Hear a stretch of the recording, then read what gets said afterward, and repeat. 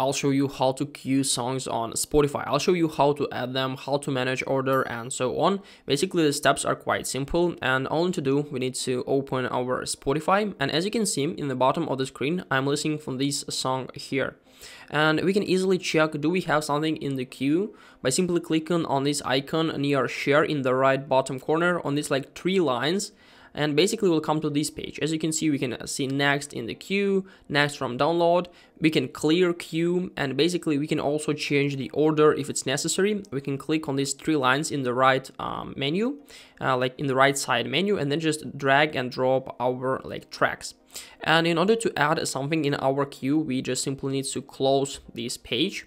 Then just simply find the necessary stuff. For example i'm going to use this playlist and uh, I'm going to use, I'm going to add the first like song here. So click on three dots near the song in the right side menu and then just simply click on add to queue.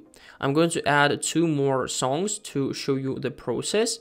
And in order to manage our queue now, we just simply need to open the main track, which is like running right up now, the main song, and then click on these three lines in the right bottom, like on queue, and as you can see we can now find next in queue if you want to change the order you can just simply uh, like click and hold your finger and then just uh, change your uh, like songs in the necessary order. So it's definitely the best way of how to manage queue songs on spotify. Hope this video helped you out. Leave a like subscribe and goodbye guys